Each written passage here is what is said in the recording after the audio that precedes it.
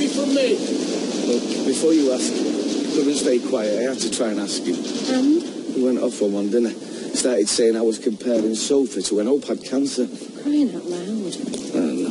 It came out wrong. I think it made things worse. Well, we better just start praying he's not a snitch. Yeah, well, I've been thinking, you know. I can't blame him. Do you know what, Kev? I'm on the last nerve, so bless the self-pity.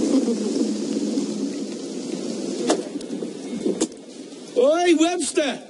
Hi, welcome home. Yay! Here she is! Here she is! Bye, Sophie! Oh, welcome home, darling. Oh, welcome home. Oh, Sophie, what have you got in there? I'm a duty free. Rosie,